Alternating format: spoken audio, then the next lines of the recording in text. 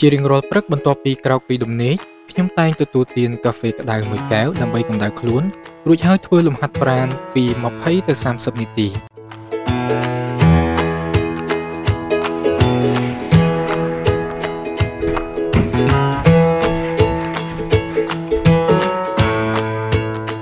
បាទមុននឹងចេញដំណើរខ្ញុំតែងតែញ៉ាំអាហារពេលព្រឹកនៅផ្ទះជាទម្លាប់ប្រចាំថ្ងៃរបស់ខ្ញុំ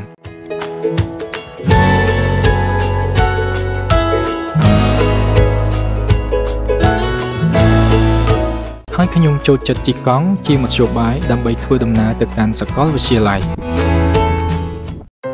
បាទសូមជម្រាបសួរខ្ញុំបាទឈ្មោះលឹមបញ្ញាជានិស្សិតថ្នាក់អនុបណ្ឌិតផ្នែកភូមិសាស្ត្រសេដ្ឋកិច្ចនៅសាកលវិទ្យាល័យ Kyushu ហើយក៏ជាប្រធានសមាគមនិស្សិតកម្ពុជាប្រចាំតំបន់ Kyushu នៃប្រទេសជប៉ុនផងដែរសាកលវិទ្យាល័យ Kyushu ជាសាកលវិទ្យាល័យដែលមានទីតាំងស្ថិតនៅក្នុងខេត្ត Fukuoka ជាសាកលវិទ្យាល័យដែលមានបរិវេណធំជាងគេ និងទំនើបបំផុតរបស់ប្រទេសជប៉ុន និងមានបន្ទប់រៀនដែលបំពាក់ទៅដោយសម្ភារៈសិក្សាគ្រប់គ្រាន់សម្រាប់សិស្សនិស្សិតធ្វើការសិក្សាស្រាវជ្រាវក្រៅពីនោះក្នុងបរិវេណសាកលវិទ្យាល័យមានទេសភាពស្រស់ស្អាតបែបធម្មជាតិនិងមានទីលានលេងកីឡាផ្សេងៗសម្រាប់សិស្សនិស្សិតប្រើប្រាស់ដើម្បីបំបត្តិអារម្មណ៍នឿយហត់បន្ទាប់ពីការសិក្សា បន្ទាប់ពីការងារស្រាវជ្រាវខ្ញុំតែងតែត្រឡប់មកផ្ទះវិញនៅវេលាម៉ោង5រសៀលជារៀងរាល់ថ្ងៃ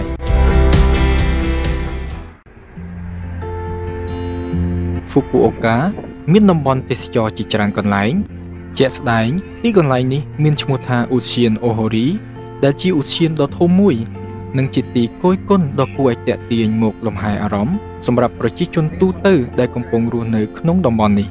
នៅទីនេះ មានផ្លូវដើរជុំវិញបឹងដែលមានប្រវែងជាង2គីឡូម៉ែត្រនិងមានប្រជាប្រិយភាពសម្រាប់ការរត់ហាត់ប្រាណការបណ្ដើរសត្វចិញ្ចឹមនិងការដើរកម្សាន្តតាមមាត់ទឹកអូហូរីមានបឹងធំមួយនៅចំកណ្ដាលជាសួនទីក្រុងដ៏រីករាយមួយនៅកណ្ដាលក្រុងហ្វូគូអូកាសម្រាប់ខ្ញុំដោយសារខ្ញុំចូលចិត្តទីកន្លែងលំហែកាយបែបនេះដូច្នេះខ្ញុំតែងតែចំណាយពេលវេលាមកស្រូបយកខ្យល់អាកាសបរិសុទ្ធនៅក្នុងឧទ្យាននេះ បើយើងធ្វើដំណើរពីឧទ្យានអូហូរីឆ្ពោះទៅកាន់ទិសខាងលិចប្រមាណ2.5គីឡូម៉ែត្រឬស្មើនឹង32នាទីដោយការថ្មើរជើង យើងនឹងទៅដល់តំបន់ទេសចរមួយកន្លែងទៀតដែលជាទីកន្លែងដែលខ្ញុំនិងនិស្សិតកម្ពុជាដទៃទៀតចូលចិត្តបបួលគ្នាមកជជែកគ្នាលេងក៏ដូចជាពិភាក្សាអំពីប្រធានបទផ្សេងផ្សេងទីកន្លែងនោះគឺ Fukuoka Tower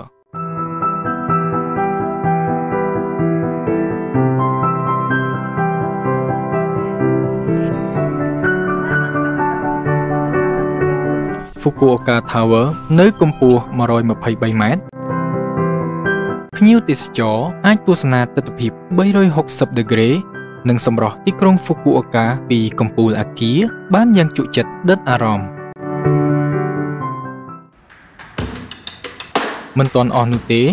នៅសង្កាត់ Yoshizaka នៃ Fukuoka មានភោជនីយដ្ឋានរបស់ខ្មែរមួយគឺភោជនីយដ្ឋានខ្មែរសៀមរាបដែលម្ចាស់ភោជនីយដ្ឋានជាជនជាតិខ្មែរមានដើមកំណើតមកពីខេត្តសៀមរាបនៃប្រទេសកម្ពុជា